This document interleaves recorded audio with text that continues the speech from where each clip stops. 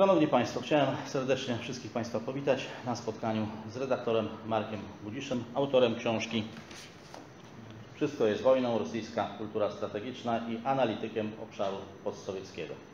Nasze dzisiejsze spotkanie jest w kontekście tego, co dzieje się wokół nas, całkowicie zrozumiałe. Wojna na Ukrainie jest jednym z głównych tematów w życiu kraju. To też y, obszar postsowiecki budzi naturalne zainteresowanie także i naszego środowiska. Stąd właśnie ta inicjatywa. Y, Z mojej strony to już wszystko. Oddaję głos naszemu prelegentowi. Przypominam tylko, że wszelkie pytania i uwagi po wypowiedzi prelegenta. Proszę bardzo. Dziękuję. Czy mam do mikrofonu mówić, tak? Dziękuję bardzo. Nie mamy bardzo dużo czasu, w związku z tym ja obawiam się, że nie będę w stanie przedstawić e, e, i pogłębić całości zagadnienia. Natomiast wydaje mi się, że pewne podstawowe spostrzeżenia postaram się tutaj i tezy też diagnozy obecnej sytuacji postaram się tutaj sformułować. Wydaje mi się to istotne, dlatego że mam takie przekonanie, iż e, w polskiej debacie publicznej nie do końca jeszcze podkreślane jest to, że 24 lutego zmieniło się właściwie wszystko, jeśli chodzi o sytuację geostrategiczną Polski. I zmiana ta ma charakter, w moim odczuciu, zarówno głęboki, jak i rewolucyjny i będzie wpływała na życie całego pokolenia Polaków. To jest moim zdaniem jedna z najistotniejszych, jeden z najistotniejszych y, punktów przełomowych we współczesnej historii Rzeczpospolitej.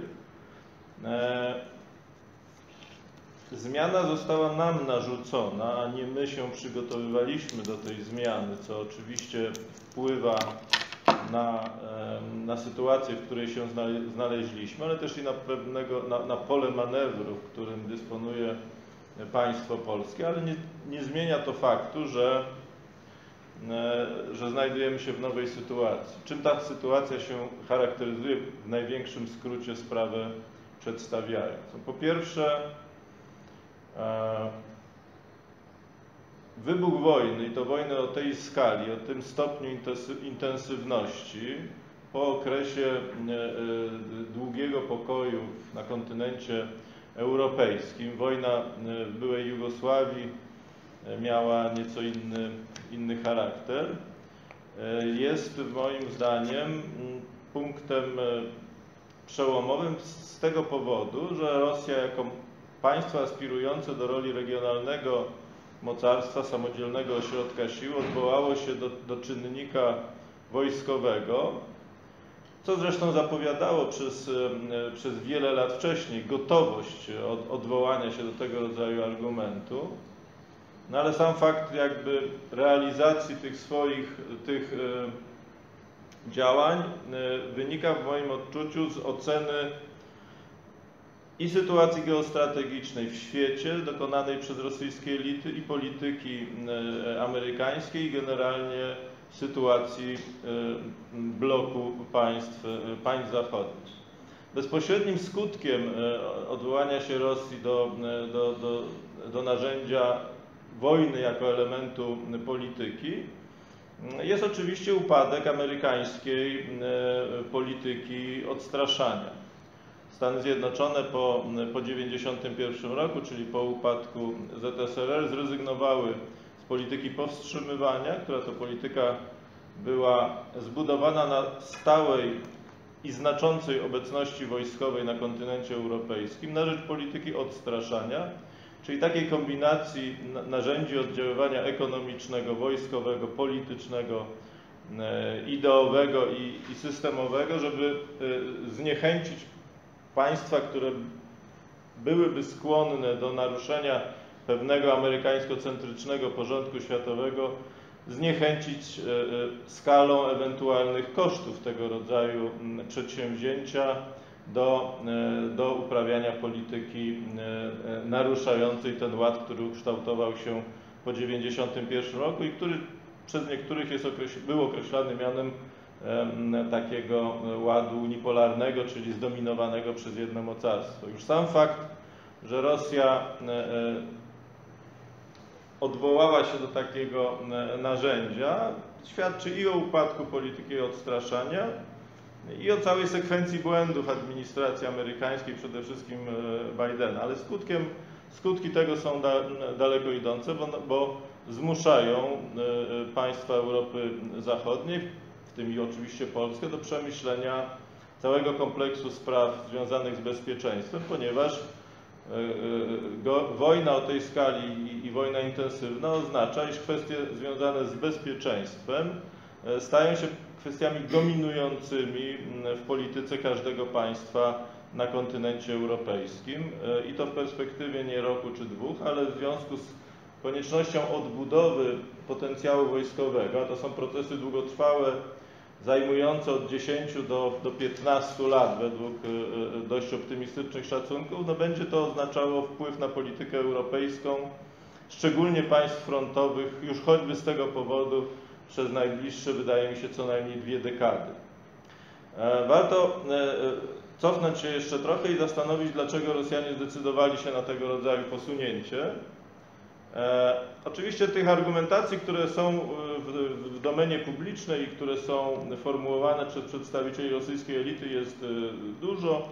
Ja powiem o kilku z nich, a mianowicie takim najbardziej wysuwającym się przekonaniem, czy najsilniej akcentowanym przekonaniem jest to, co mówi otwarcie Sergiej Karaganow, na przykład jeden z ojców założycieli takiej dominującej w rosyjskim myśleniu strategicznym szkoły dzierżawników.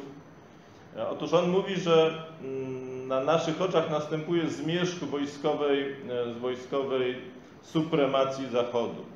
Ta wojskowa supremacja Zachodu zaczęła się jego zdaniem około 500 lat temu. Dzisiaj mamy do czynienia z załamaniem się tej dominacji, co oznacza, że z wojskowego punktu widzenia Zachód nie jest już w stanie dominować nad całym światem, a precyzyjniej rzecz ujmując, Stany Zjednoczone na przykład nie są w stanie, co zresztą potwierdzają amerykańscy specjaliści, nie są w stanie prowadzić równolegle dwóch pełnoskalowych wojen na odległych, na odległych frontach, co oznacza konieczność wyboru pewnego kierunku, pewnego głównego kierunku strategicznego. Amerykańscy, amerykańskie elity, co znalazło zresztą swój, swoje odwzorowanie w przyjętej za czasów administracji Trumpa strategii obrony w 2018 roku, dość zdecydowanie uważają, iż głównym kierunkiem strategicznym i głównym rywalem strategicznym Stanów Zjednoczonych jest, są Chiny, a w związku z tym cała strategia amerykańska powinna być skoncentrowana na polityce powstrzymywania rozwoju Chin, dlatego że to, co grozi Ameryce, to jest, to jest supremacja Chin, która, które gdzieś około roku 2000 najdalej, 50 przegonią Amerykę jeśli chodzi o potencjał militarny, gospodarczy, rozwojowy również, nie mówiąc oczywiście o ludnościowym, bo to jest oczywiste. Rosjanie obserwując te zjawiska uznali, że w związku z tym układ sił w świecie będzie zmieniał, zmierzał w stronę bardziej zrównoważonego, to znaczy będą, będzie kilka znaczących ośrodków siły samodzielnych, utrzymujących suwerenność, i Rosja z racji swojej wielkości, z racji położenia w, w centrum kontynentu euroazjatyckiego i z racji przede wszystkim siły wojskowej ma wszelkie szanse, żeby stać się takim samodzielnym ośrodkiem, ośrodkiem siły. Tu oczywiście z rosyjskiego punktu widzenia największy nacisk kładziony był i jest nadal na rosyjski kompleks kosmiczno-strategiczny, czyli broń jądrową przede wszystkim i, i wyzyskanie przewagi rosyjskiej nad, przede wszystkim nad Chinami w tym zakresie, ale również przewagi nad Stanami Zjednoczonymi, zarówno jeśli chodzi, no jeśli chodzi o broń strategiczną, ta przewaga jest niewielka, dlatego że, że te systemy były objęte już od czasów Reagana i Gorbaczowa były objęte porozumieniami rozbrojeniowymi, natomiast Rosjanie utrzymują znaczącą przewagę, jeśli chodzi o tak zwane taktyczne środki przenoszenia, o zasięgu, o, o zasięgu które, które uniemożliwia osiągnięcie na przykład kontynentu amerykańskiego, ale, ale umożliwia y, niszczenie celów znajdujących się na przykład w Europie. Tutaj Rosjanie, tu oczywiście w środowisku ekspertów trwa zażarta i od, wielu lat toczona dyskusja, iloma głowicami na środkach przenoszenia o charakterze taktycznym dysponują Rosjanie.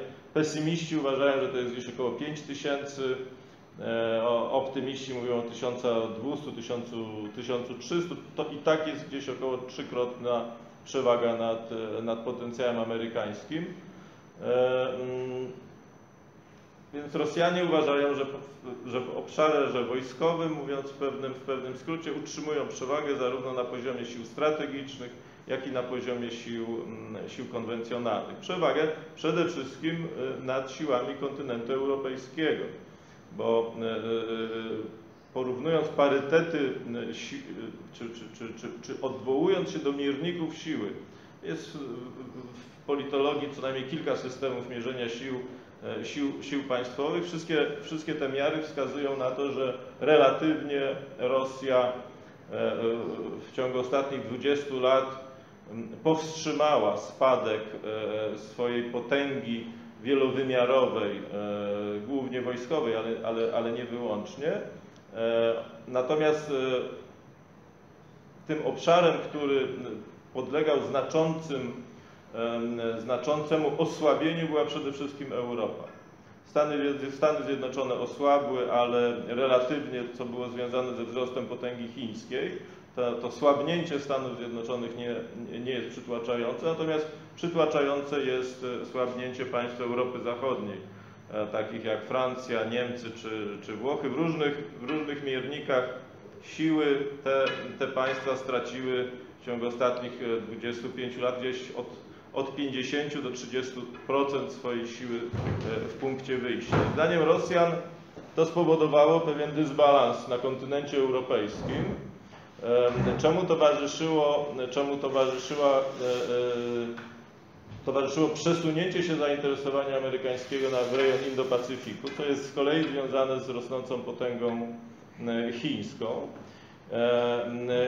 I zdaniem niektórych rosyjskich ekspertów Rosja dysponując dobrą pozycją negocjacyjną i potencjałem atomowym mogła wyzyskać tę swoją pozycję po to, żeby generalnie osłabić Stany Zjednoczone i w konsekwencji doprowadzić do wypchnięcia Ameryki z Europy, bo to jest, wydaje się, głównym celem e, tej, tej operacji. W zeszłym roku e, e, w Instytucie imienia Primakowa stworzono taką strategię negocjacyjną. To stworzył zespół, który, którym kierował profesor Aleksander Dynkin. I, I ta strategia generalnie rzecz biorąc opierała się na następującym założeniu. E, ona dotyczyła techniki negocjacji na poziomie, na, na poziomie strategicznym, czyli techniki negocjacji w trójkącie Stany Zjednoczone, Rosja, Chiny. Ona wychodziła z następujących przesłanek. Po pierwsze, e, e, Rosjanie uważali, że Chiny, którzy, którzy, mają, które mają znacząco mniejszy potencjał, jeśli chodzi o E, ładunki jądrowe i środki przenoszenia o charakterze międzykontynentalnym nie zgodzą się na żaden system zamrożenia zbrojeń jądrowych, bo to będzie związane z konserwowaniem dysparytetu, co obiektywnie rzecz biorąc będzie po pierwsze osłabiało Chiny, po drugie będzie uzależniało na tym poziomie Chiny od Rosji, dlatego że Chiny korzystają cały czas systemu wczesnego ostrzegania e, e, rosyjskiego. Również z tego powodu ma on znaczenie, że te głowice e, na rakietach balistycznych będą leciały przez biegun północny, jeśli, jeśli zostaną wystrzelone. W związku z tym Rosjanie stali na stanowisku, że Chiny nie zgodzą się na zamrożenie potencjałów jądrowych, a z kolei Stany Zjednoczone nie zgodzą się na jakiekolwiek porozumienie e, atomowe, jeśli nie, będzie, jeśli nie będą e, nimi objęte Chiny. Bo z kolei zamrożenie potencjału w, ty, w tym e, tandemie rosyjsko-amerykańskim przy stale kontynuowanych zbrojeniach nuklearnych chińskich będzie groziło naruszeniem parytetu, naruszeniem parytetu przez Chiny dającej się przewidzieć perspektywie.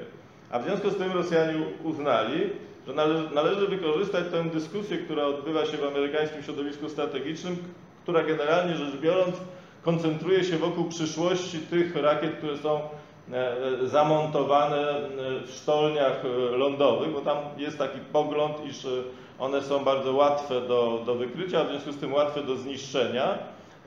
Kończy się, kończy się okres ich takiej e, no, funkcjonalności, należałoby je, nale- należałoby je remontować, co pociąga, za, co pociąga za sobą gigantyczne koszty, a w związku z tym Amerykanie dyskutują, czy w ogóle e, ten element trójcy nuklearnej e, ma e, znaczenie w przyszłości. Rosjanie uznali, że należy w związku z tym doprowadzić do redukcji potencjałów nuklearnych rosyjskich i, i amerykańskich o jedną trzecią. Ten komponent związany z, z elementami lądowymi triady nuklearnej, co ma tym bardziej znaczenie z punktu widzenia Rosji, że sami Rosjanie mają e, e, kłopoty z, z modernizacją tych rakiet określanych przez Amerykanów jako, jako szatan, czyli satana. Musieliby zbudować nową fabrykę i musieliby się wyłącznie na tym koncentrować, ale z negocjacyjnego punktu widzenia to oni uznali, że jeżeli uda się Amerykanom przekonać, Amerykanów przekonać do mm, tego rodzaju elementu rozbrojenia, to Chińczycy łatwiej będą skłonni, dlatego że zmniejszy się przewaga rosyjsko-amerykańska nad Chinami, bardziej będą skłonni wejść do negocjacji, a w związku z tym będzie e, możliwe e, e, rozpoczęcie negocjacji w trójkącie, a to da Rosjanom pozycję państwa, które będzie równoważyło dwóch potencjalnych czy głównych rywali w, w, tym, e, w tej rozgrywce geostrategicznej przyszłości, a w związku z tym e, to mm, jest dobry kierunek e, e, polityki, polityki rosyjskiej. Tym bardziej, że oni uznali decyzję, to była przecież pierwsza decyzja mm, administracji Bidena o przedłużeniu traktatu New Start, podpisana pierwszego dnia e, urzędowania. Podobnie zresztą jak e, decyzja związana z zamknięciem gazociągu e, z, z, tak, tak. E, Oni to uznali za pewien, e, pewien element słabości, pewien element em, e, ustępliwości ze strony Amerykanów. No i w tym momencie uruchomili całą sekwencję zdarzeń, czy to przekonanie o słabości polityki amerykańskiej, czy słabości obecnej administracji, jakby oni utwierdzili się w takim e, myśleniu, w, nie tylko w wyniku, e, nie tylko w wyniku tego, co się stało w- Afganistanie, chociaż to oczywiście był znaczący element, ale również po tym, jak e, podpisane zostało porozumienie AUKUS między Wielką Brytanią, Australią a Stanami Zjednoczonymi, w tajemnicy negocjowane przez ponad rok, najpierw e, e, między Londynem a, e, a Canberrą, a potem do tego e, porozumienia dołączyły się Stany Zjednoczone. Rosjanie uznali to jako wyraz e, dezinteresments e, Ameryki wobec sojuszników europejskich, którzy wtedy e, intensywnie mówili o, o mózgowej śmierci NATO i o konieczności uzyskania samodzielności geostrategicznej Europy. E, e, e, Nie wiem, czy Państwo pamiętacie, ale w ubiegłym roku, zwłaszcza jesienią, po, tej pierwszy, po tym pierwszym alarmie mobilizacyjnym wokół Ukrainy miała też, miała też miejsce cała seria wizyt amerykańskich dyplomatów, przedstawicieli również służb specjalnych w Moskwie, co, co znowu rosyjscy komentatorzy od- odebrali jako wyraz pewnej słabości, skłonności do ustępstw, nie, nie, niezainteresowania twardą, twardą polityką. Suma tych wszystkich elementów e, połą- e, połączyła się z dwoma innymi zjawiskami, o, o, o których warto wspomnieć, a mianowicie e, z rosyjskich szacunków wy- wynikało, że w perspektywie gdzieś około 10 lat w związku z zapowiedziami w zakresie polityki klimatycznej europejskiej znacząco zmniejszy się konsumpcja e, rosyjskich węglowodorów. E, Gaz e, będzie jeszcze relatywnie długo e, zużywany jako to paliwo przy, przy, przyszłości, ale oni już zaczęli odczuwać, zresztą nie tylko oni, no, r- również inni producenci e, e, paliw e, płynnych i, i, i, i tych, które są uznawane za, za groźne dla klimatu, oni już od kilku lat odczuwali znaczące, znaczące problemy z finansowaniem nowych inwestycji.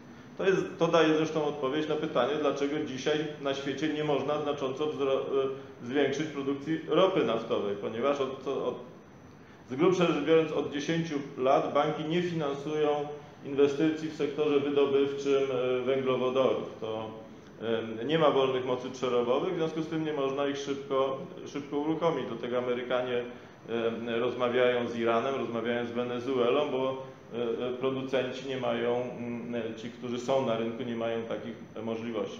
Ale Rosjanie zaczęli to również znacząco mm, odczuwać. E, Tam były, pojawiały się głosy mm, również e, e, takiej służby geologicznej państwowej, która mówiła, że stopień wyeksploatowania istniejących zasobów jest już na tyle duży w tych łatwo dostępnych e, polach gazowych i naftowych, że w perspektywie 10, 10 lat trzeba się liczyć ze, ze znaczącym e, spadkiem możliwości wydobycia, chyba że e, pozyskałoby się znaczące inwestycje, głównie w te se- sektory na dalekiej północy, ale to się wiąże z północną drogą morską. To daje też odpowiedź na pytanie, dlaczego Rosjanie znacząco rozbudowują e, na tym obszarze swoje instalacje wojskowe i to się też wiąże z pozyskaniem kapitału e, po to, żeby sfinansować i technologii, bo to jedno z drugim idzie. Rosjanie nie dysponują zaawansowanymi technologiami wydobywczymi. E, Więc w tym sensie Rosjanie uznali, że, e, że czas nie gra w dłuższej perspektywie na ich korzyść, ale w krótszej perspektywie mają możliwość wykorzystania pewnych ewidentnych słabości związanych z niestabilnością polityki amerykańskiej, którą oni odczytali jako, jako słabą, z obecną wojskową mm, przewagą, e, jeśli chodzi o środki konwencjonalne, nad siłami europejskimi. A tu musicie Państwo wiedzieć, bo to o tym się często nie mówi, że mm, trzy największe armie mm, europejskie, nie mówię o polskiej, e, francuska, włoska i niemiecka mają łącznie, jeśli chodzi o stany ewidencyjne, gdzieś około 600 czołgów.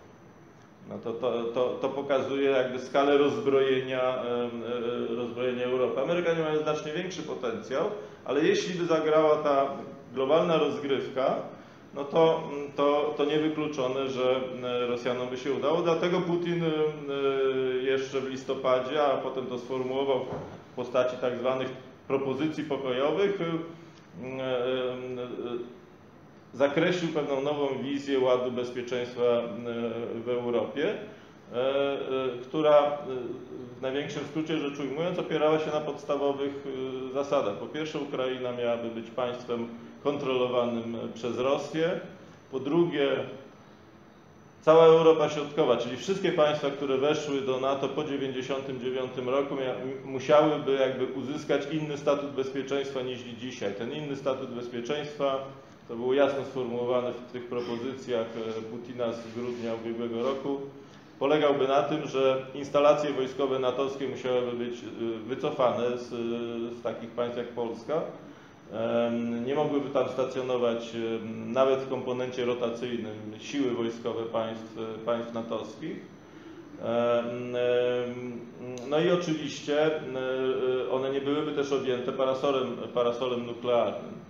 Nie, nie, e, to było trochę wyjście na, na przyszłość, bo nadal obowiązujący układ Rosja-NATO e, e, zawiera tak zwaną doktrynę trzy razy nie, która mówi o tym, że, że państwa NATO nie, nie, nie widzą potrzeby i nie, nie mają planów i nie będą prowadzić działań, które, które mają zmierzać do przeniesienia ładunków jądrowych do państw, które weszły do NATO po 1997 roku, czyli po dacie podpisania umowy NATO-Rosja.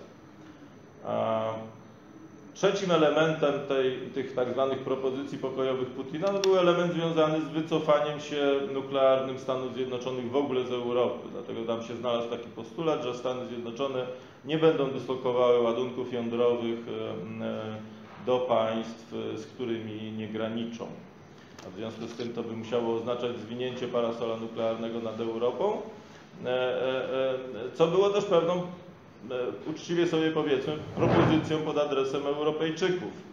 E, Bo to nie jest tak, że, że, że my tu mieliśmy do czynienia z, pewnym, z pewną erupcją e, rosyjskiej wizji strategicznej. Putin proponował choćby w artykule w Die Zeit, który opublikował w lipcu bodajże ubiegłego roku, e, obopólnie korzystną współpracę gospodarczą, polityczną i strategiczną między Rosją e, a Europą Zachodnią, gdzie interesy zaspokajane byłyby również em, podziałem wpływów i kooperacją w Europie Środkowej i uznaniem prawa Rosji do, do zbudowania takiej strefy buforowej państw, które ona bezpośrednio e, kontroluje. Tu, tu Rosjanie e, e, zachowywali się dość powściągliwie, bo do tej strefy buforowej nie wpisywali Polski na przykład, oni wpisywali tam Ukrainę i Białoruś, natomiast Polska miała być państwem, podobnie zresztą jak i wszystkie państwa e, Europy Środkowo-Wschodniej i również bałkańskie, jako państwa o takim powiedziałbym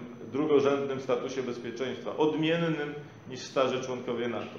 Ale istota tej propozycji e, Putina pod adresem e, Europy Zachodniej sprowadzała się do w gruncie rzeczy dwóch rzeczy. Po pierwsze, współpracy na poziomie gospodarczym po to, żeby niwelować przewagę Chin, ale również korzystać z kooperacji z Chinami, a także współtworzenia pewnego samodzielnego euroazjatyckiego filara siły, gdzie Europa będzie dawała potencjał gospodarczy i technologiczny, a Rosja będzie dawała potencjał surowcowy, wojskowy, no i z racji położenia też, też komunikacyjny na kontynencie euro, euroazjatyckim. Rosyjscy myśliciele uważali i uważają nadal, że tego rodzaju kooperacja leży w interesie Europy, a konflikt z Rosją jest szkodliwy dla Europy, dlatego e, Dmitrij Miedwiediew mówi, że Europa e, tylko w tym roku straci 400 miliardów dolarów na, na, na wojnie z Rosją, oczywiście wojnie e, ekonomicznej. Ale geostrategiczna wizja, która się za tym, mm, em, za tym em, była skryta, choć nie tak e, bardzo. To była wizja e, tego, co Rosjanie nieraz mówią o, o wspólnego kontynentu od Lizbony do Władywostoku, e, ale bez Amerykanów. Cała rozgrywka w- moim odczuciu polegała i polega nadal do pewnego stopnia na tym, żeby wypchnąć Amerykanów z Europy, zmusić ich do dokonania pewnego, pewnego, pewnej strategicznej rekonfiguracji na rzecz, na rzecz zainteresowania i położenia nacisku na e, rejon Indo, Indo-Pacyfiku, wykorzystać słabość, e, e, wykorzystać słabość e, Europejczyków i niezdecydowania administracji amerykańskiej i wykorzystać e, to, co się dzieje, czy, czy, a własne atuty, czyli przede wszystkim e, wojskowy potencjał Rosji, po to, żeby asekurować się na wypadek złego scenariusza, a tym złym scenariuszem było, e, było stopniowe odchodzenie świata od e, i Europy przede wszystkim, bo tu Europa jest liderem od paliw kopalnych, co, e, co dla Rosji było perspektywą pewnych trudności, powiedzmy to sobie delikatnie. W Rosji w ostatnim roku nasiliły się też po COVID-19 pewne, nazwijmy to procesy dezintegracyjne wewnętrzne na poziomie elit. E, To one się nie ujawniają w postaci jakichś, jakichś zajść, ale jest coraz więcej sygnałów o tarciach, o, o szukaniu innych, e, nazwijmy to patronów, o świadomości tego, że e, ulega ograniczeniu pewna, pe, pe, pewien zasób bogactwa, który można, można dzielić. Wybory ostatnie do Dumy były taką próbą nowego podziału w obrębie obozu władzy. Ci technolodzy z, z Kremla doprowadzili do powstania takiej nowej e, frakcji, e, ona się nazywała Nowi Ludzie. E, Tam, były element, tam byli ludzie z biznesu, średniego biznesu, nie oligarchicznego, ale też i z tych republik, takich jak Jakucja, które są kluczowe z punktu widzenia jakby rosyjskiego potencjału wydobycia, wydobycia węglowodorów. Bo dzisiaj sytuacja w Rosji jest taka, że bogactwo Rosji tworzy się w sześciu regionach e, kraju, na 94 albo 5, ile dobrze pamiętam, a, a inni są biorcami tego, e, tego, tego bogactwa, co, co rodzi napięcia, głównie na poziomie lokalnych elit, które uważają, że te, e, to, co oni produkują, nie jest dystrybuowane w sposób, w sposób sprawiedliwy, czy, czy w sposób dla nich wystarczająco korzystny.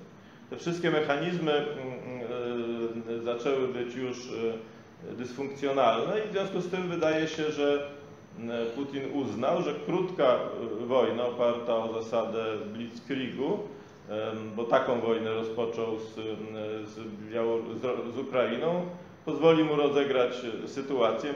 W moim odczuciu, a wiele wskazuje na to, że, że, że w istocie tam e, było takie przekonanie wśród moskiewskich strategów, iż wola oporu państwa ukraińskiego nie będzie wielka. Zełenski przyjmie ofertę Stanów Zjednoczonych formułowaną dość natarczywie e, w pierwszych dniach wojny i zgodzi się na ewakuację swoją i swojego, i swojego rządu. W związku z tym te siły, które, e, które e, zostaną wysłane, zostały wysłane przeciw Ukrainie, będą w stanie dość łatwo opanować, ale w sensie politycznym, a nie wojskowym, e, całe państwo oraz następnie zostać obrócone e, przeciwko NATO. Moim zdaniem to był, to był główny plan polityczny, który oczywiście w związku z tym, co się stało na Ukrainie, dzisiaj jest już w pewnej części nieaktualna, przynajmniej uległ odłożeniu w czasie. Przepraszam bardzo. Teraz przechodzę do tego, od czego zacząłem, czyli mm, co wojna zmieniła w sytuacji geostrategicznej Ukrainy, a w konsekwencji też i Polski, bo to jest wydaje mi się naj, najistotniejsze. No to po pierwsze o, o, o konieczności rekonfiguracji całej polityki bezpieczeństwa e, jakby sygnalizowałem tę- kwestię, to jest bardzo obszerne zagadnienie.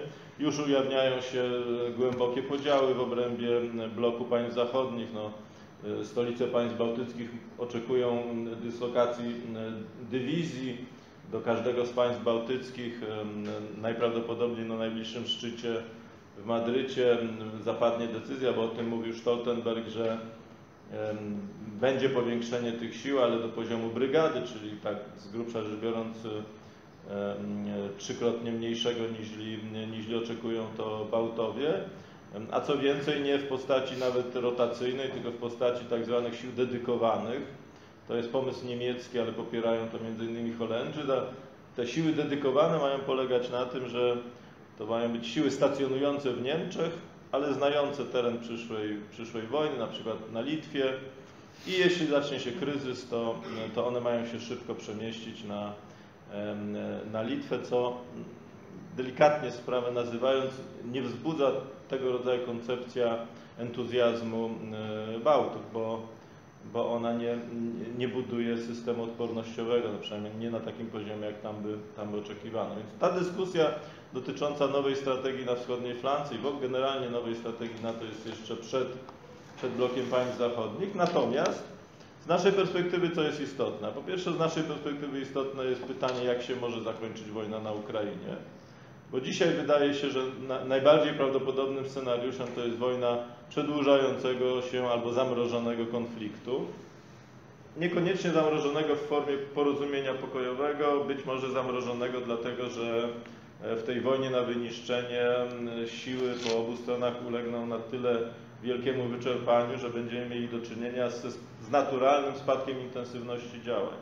Tym bardziej jeśli Rosjanie mogą, a, a wydaje się, że mogą to zrobić, no ogłoszą w pewnym momencie, że osiągnęli swoje cele polityczne i w związku z tym nie będą kontynuowali e, tak zwanej e, specjalnej operacji.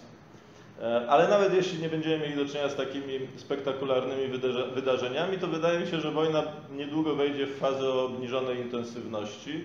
Skala pomocy zachodniej dla Ukrainy jest niewystarczająca, żeby Ukraina była w stanie zbudować siły, które by, mogłyby przeprowadzić kontrnatarcie i wyprzeć e, Rosjan na linię 24 lutego.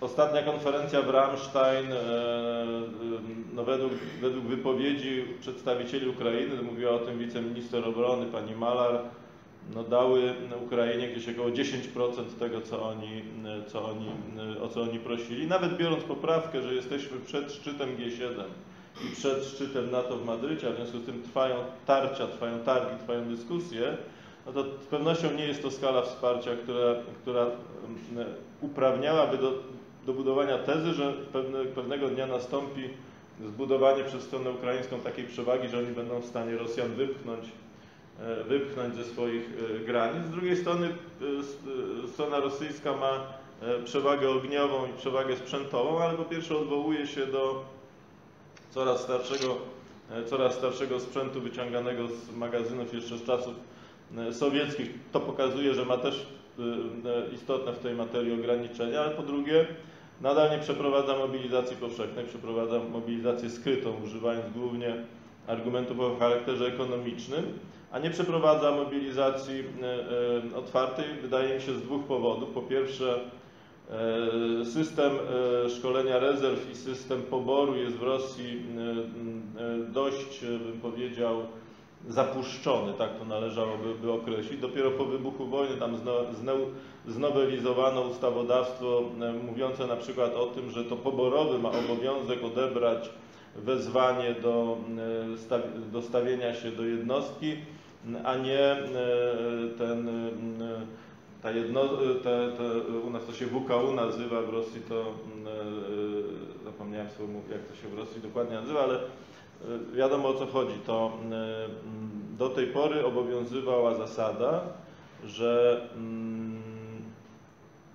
organy odpowiedzialne za pobór do wojska musiały znaleźć miejsce zamieszkania tego, kogo chciały do wojska wcielić, co zważywszy na znaczącą ruchliwość rosyjskiego społeczeństwa, w tym, w tym, w tym najmłodszej generacji, no nie było rzeczą, nie było rzeczą prostą. Rosjanie generalnie im to szło dość, e, dość słabo i, i ten system nie był przygotowany.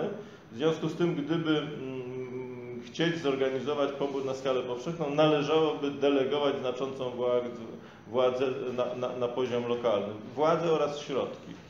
A to z kolei jest y, y, obarczone ryzykiem o charakterze politycznym, dlatego że y, pierwszym krokiem, który Putin zrobił po wyborach do Dumy w- we wrześniu ubiegłego roku, było zmniejszenie samodzielności regionów, a nie zwiększenie. To zmniejszenie samodzielności regionów wywołało zresztą tak rzadko spotykany bunt na przykład deputowanych y, z, y, z, Tatarstanu, którzy zarówno w Dumie, jak i w Radzie Federacji głosowali przeciwko e, nowelizacji tejże, tejże ustawy. W związku z tym tam przez lata, przez ostatnie lata było, była realizowana polityka centralizacji. Dzisiaj musiała być polityka decentralizacji, co w sytuacji wojny i w sytuacji oczywistych napięć związanych też z nierównomiernym rozłożeniem mm, jakby ofiar, no bo one są regionalnie nierównomiernie roz, ro, ro- rozłożone, bo bardziej dotykają tych biedniejszych regionów, gdzie pensja żołnierza kontraktowego jest atrakcyjną drogą, atrakcyjną ścieżką zawodową. Ona nie jest atrakcyjna w Moskwie, natomiast jest atrakcyjna w Dagestanie, Buriacji czy, czy, czy w republikach Północnego Kaukazu. Połączenie tych elementów mogłoby spowodować jakby e, rozchwianie sytuacji politycznej w Rosji. I wydaje się, że z tego powodu Putin e, e, nie decyduje się na, na ogłoszenie powszechnej mobilizacji, no również i, i z tego względu, że to by musiało oznaczać przyznanie się do e, niepowodzenia. Tej tak zwanej operacji, a narracja w Rosji jest taka, że operacja idzie zgodnie z planem i Rosjanie wierzą, to jest dość zde- zdecydowany pogląd, że tę wojnę są w stanie wygrać i że ją wygrają. Jest tylko kwestia czasu, nie, nie w trzy dni, ale może w 8 miesięcy, ale, ale zwycięstwo będzie po naszej, e, po naszej stronie. Więc w tym sensie wydaje się, że wojna zakończy się jakąś formułą e, zawieszenia e, działań czy, czy zmniejszenia intensywności. Można by to określić mianem remisu. Geostrategicznie to jest porażka Rosji, bo, bo Putin nie osiąga swoich celów, ale to, co to oznacza z naszej perspektywy? No to oznacza, że o ile nie następują wewnętrzne przemiany w Rosji, a niewiele na to wskazuje, że one dzisiaj, dzisiaj nastąpią, nie ma, nie ma też mowy o zmianie jakiejś, jakiegoś nastawienia mentalnego, jeśli chodzi o, e, o, o rosyjskie elity władzy, E, no to Rosja pierwszego dnia od zakończenia czy, czy, czy zawieszenia tych działań przystępuje do odbudowy swojego potencjału wojskowego, bo, e, bo nadal tam jest rozpowszechnione przekonanie, że głównym atutem Rosji to jest siła wojskowa i Rosja tej siły wojskowej musi używać po to, żeby utrzymać status e, suwerennego państwa. E, e, jak z wojny wychodzi Ukraina? Ukraina wychodzi z wojny e, nie, nie kontrolując około 90% swojego potencjału przemysłowego, mając straty różnie szacowane od dość optymistycznych, mówią, mówiących, że straty gospodarcze, infrastrukturalne, skala zniszczeń jest, to jest gdzieś około 600 miliardów dolarów, a pesymiści mówią, że bilion dolarów. Jest państwem, z- gdzie znacząca część ludności wyemigrowała i, i, nie, i nie wiadomo, czy będzie miała do, do czego wracać. No i jest państwem, w której dominuje przekonanie, że po wojnie również trzeba szybko zacząć odbudowywać swój potencjał mi- militarny, dlatego że e, mając takiego sąsiada jak Rosja, nie można sobie pozwolić na to, żeby być, na to, żeby być państwem słabym. A zatem oba państwa zaczynają w, zakresie własnych możliwości i własnych potencjałów dążyć do odtworzenia e, potencjału wojskowego, co oznacza, że w, ra, ra- racjonalnie ro- rozumując trzeba się liczyć z powrotem do działań e, wojennych, tylko pytaniem jest oczywiście, czy to jest powrót za lat 3, za lat 5, czy za, lat 10. To jest kwestia e, ważna, ale nie, nie przesądzająca o, o, o kierunku wydarzeń. Z naszej perspektywy jest to też e, istotne, dlatego że moim zdaniem w rosyjskim myśleniu strategicznym już zakorzenił się pogląd, i to jest efekt tych trzech miesięcy wojny, że Rosja nie będzie w stanie zdobyć i kontrolować w sensie politycznym Ukrainy, jeśli Ukraina będzie dysponowała wsparciem Polski. Rosji to się nie udało do tej pory wojskowo, Rosji się to też nie udało wcześniej politycznie właśnie, właśnie z tego powodu. Gdyby rząd w Polsce, czy gdyby rząd w Warszawie uprawiał politykę taką na przykład jak rząd w Budapeszcie, no to najprawdopodobniej opór Ukrainy już by się skończył, no bo, bo ona nie otrzymałaby tego wsparcia międzynarodowego. Polska jest tutaj absolutnie kluczowym, kluczowym państwem. A, a zatem z punktu widzenia pewnego, pewnego rachunku strategicznego Rosjanie już dzisiaj uważają, że Polska i Ukraina to jest jedna całość strategiczna. A zatem jeśli chce się y, zdobyć i kontrolować Ukrainę, zneutralizować Ukrainę, doprowadzić, y, żeby Ukraina nie dysponowała znaczącym potencjałem wojskowym, takie są oczekiwania Rosji nadal podtrzymywane. Y, y, Wczoraj Pieskow o tym, o tym mówił po raz kolejny. No to trzeba w ten czy w inny sposób obezwładnić Polskę. E, Polska wspierająca Ukrainę oznacza przedłużający się opór Ukrainy, a Rosja nie ma odpowiedniego potencjału, ażeby, ażeby Ukrainę złamać przy użyciu e, siły wojskowej, no chyba, że odwoła się do, e, do broni masowego rażenia, ale to jest jakby zupełnie inne, inne zagadnienia. W związku z tym, chcąc czy nie chcąc, my już znaleźliśmy się w tej wojnie, zarówno jeśli chodzi o skalę wsparcia dla Ukrainy, jak i pewien, pewne położenie geostrategiczne, dlatego że E, e, Rosjanie uważają i mają, i mają w tym zakresie rację, że Ukraina razem z Polską to jest e, ściana wypychająca Rosję z europejskiej polityki i stojąca na przeszkodzie tej wizji, o której mówiłem wcześniej, czyli tej wizji pewnej współpracy między Europą Zachodnią a Rosją, która dzisiaj może się wydawać bardzo odległa, e, no ale e, w moim odczuciu nadal takie myślenie pokutuje na poziomie pewnej długoletniej strategii e, politycznej, politycznej w Rosji. W związku z tym, w moim odczuciu,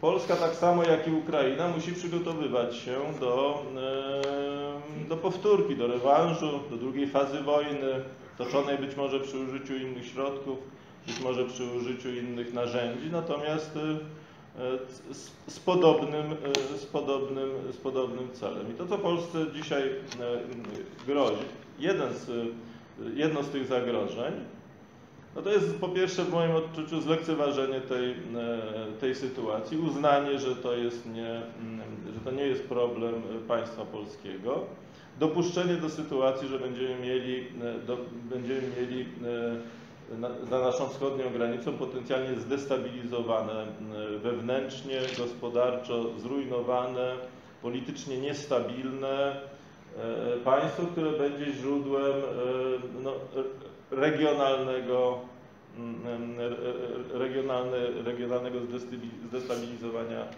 sytuacji.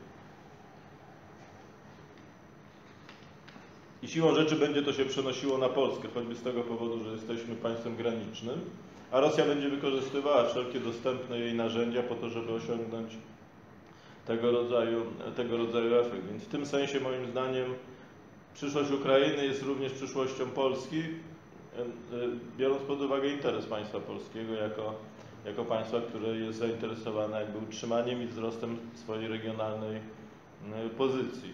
Zarówno utrzymaniem, jak i wzrostem. Tu jest junktim między jednym a drugim.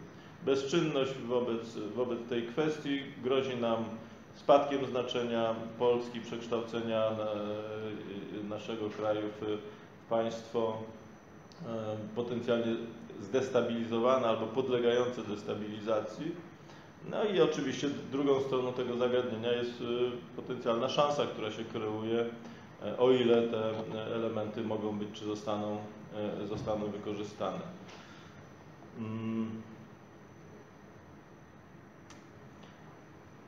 Więc tak bym, tak bym opisywał generalne, mm, ge- generalne rysy sytuacji geostrategicznej, w którym się znaleźliśmy w trzy miesiące po, po rozpoczęciu przez Rosję wojny, wojny na Ukrainie. One zmieniają nasze położenie, one zmieniają, mm, myślę, że naszą przyszłość, one zmienia, zmieniają nasze zag- zagrożenia, przed którymi stoi państwo polskie. One zmieniają znaczenie czynnika wojskowego w życiu państwowym. Do tej pory my żyliśmy w państwie, które, które w gruncie rzeczy rozbroiło się tak jak, jak inne państwa europejskie. Nie dysponujemy znaczącym potencjałem wojskowym. On jest, on jest wielokrotnie gorszy niż ukraiński. My musimy mieć tego, mieć tego świadomość. A skala wyzwań, która, która, która moim zdaniem stoi przed państwem polskim jest na tyle duża, że będzie to wymagało gruntownej, gruntownej przebudowy e, życia wewnętrznego i pewnych, i pewnych preferencji o charakterze społecznym i, i inwestycyjnym w najbliższych, e, w najbliższych latach. To chyba tytułem wstępu.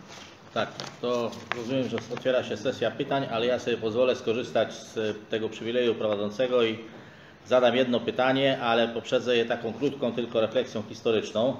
W 1904 roku, przed wojną rosyjsko-japońską, e, kierownictwo państwa, nie sam car Mikołaj II, który był człowiekiem małolotnym, ale kierownictwo e, państwa rosyjskiego zdawało sobie sprawę z narastających napięć i minister e, Sergiusz Witte wypowiedział wtedy zdanie, ro- wypowiedział rozwiązanie i zdanie, które przeszło do historii, że Rosji potrzebna jest mała zwycięska wojenka, y, która zjednoczy naród wokół tronu.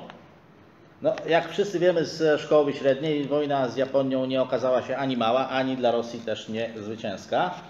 E, A napięcia, które ujawniła, eksplodowały znaną wszystkim Państwu rewolucją 1905-1907 roku. I przechodząc do pytania do naszego prelegenta, mm, jak ocenia Pan potencjał tych napięć, y, możliwość wyzwolenia przez wojnę, przez y, no, geostrategiczną porażkę, no bo to jest y, nawet w tej wersji optymistycznej dla Rosji, czyli tego zamrożonego konfliktu, wyraźnie nieosiągnięcie celów, które przestawiano i postawiano jawnie, stawiano głośno, tak? Denazyfikacja całej Ukrainy, tutaj tu używając tego, tego, tego propagandowego y, moskiewskiego sloganu.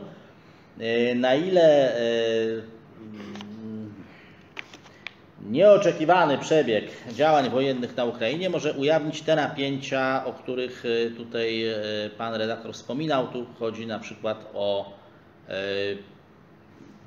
różnice regionalne, ale też tam, gdzie nakładają się na różnice narodowościowe. Bo też trzeba pamiętać, że ponad 20% ludności Rosji to są narody nierosyjskie i niektóre o świadomości e, no, dość, do, dość, dość mocnej. No, nie tylko, bo Burjaci są muzułmanami, e, oczywiście no, Jakuci to turecki raczej animiści, szama, szamaniści powiedzmy tak. Północny Kaukaz na ogół to muzułmanie z wyjątkiem Osetyjczyków, to tam to powiedzmy jest różnie, ale oczywiście ten czynnik oczywiście działa tutaj. Przy czym te grupy są, na, zwróćmy uwagę, to yy, są nadreprezentowane w armii. To zresztą widać, jak się ogląda te medialne, medialne doniesienia o pogrzebach, na przykład zwróćcie Państwo uwagę na w jakim rycie te pogrzeby często są dokonywane i gdzie są, i gdzie są, do, i gdzie są dokonywane. Mówię o granicach Federacji Rosyjskiej tutaj, tak? E, zatem e, e, czy te napięcia mogą się ujawnić w stopniu, który no, posadami imperium? To jest to pytanie. Mnie się wydaje, że to nie czynnik narodowościowy doprowadzi ewentualnie do rozsadzenia Federacji Rosyjskiej, tylko pęknięcia w obrębie elity władzy, na co nałożą się również elementy narodowościowe. Tylko tu jest pytanie oczywiście, co może być mechanizmem sprawczym. Czy o, ewentualne oderwanie się, nawet jeśli snujemy takie wizje Dagestanu czy Buriacji, czy Republik Kaukazu Północnego od, od Rosji, ono nie powoduje, że Rosja przestaje być imperium. Rosyjscy zresztą analitycy czy geostrategzy uważają, że to, co powoduje, czy co może spowodować, iż Rosja przestanie być imperium, to też nie jest utrata Ukrainy, czy wpływów na Ukrainie, ale to jest utrata Syberii. Gdyby, gdyby Rosja została pozbawiona Syberii, to to, to rzeczywiście będzie kres, kres imperial, impe- imperialnego państwa, państwa rosyjskiego. Takie jest tam, tam mniemanie. Tylko, że e, e, powiedzmy kilka słów, jak wojna jest postrzegana przez, dzisiaj przez rosyjskie społeczeństwo i rosyjskie elity. Że po pierwsze, e, on, tam jest, już o tym mówiłem, ale jest ugruntowane przekonanie, że Rosja tę wojnę wygrywa i że Rosja jest w stanie tę wojnę wygrać. Po drugie, tam jest ugruntowane przekonanie, że Rosja jest po, może nie tyle po dobrej stronie historii, bo historia nie ma wymiaru etycznego, tylko jest po stronie tych sił, które, które są siłami wschodzącymi.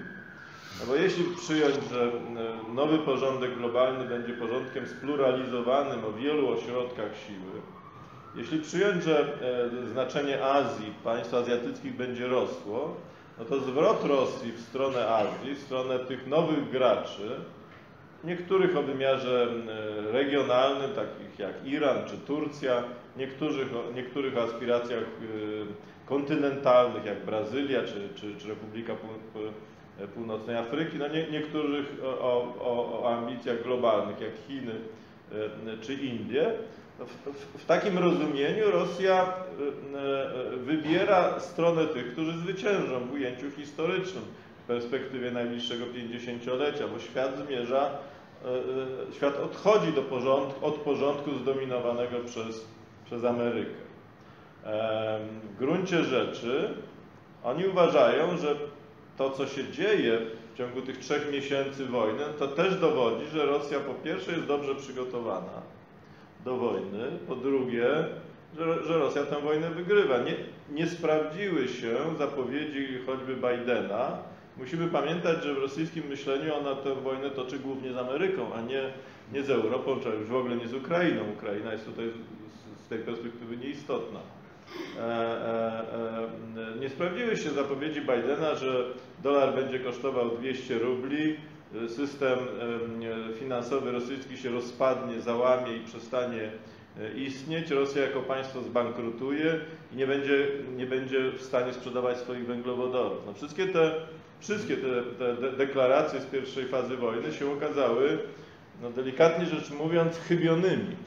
E, Ro- Rosjanie na tej podstawie wyciągają wniosek, że to oni są póki co górą.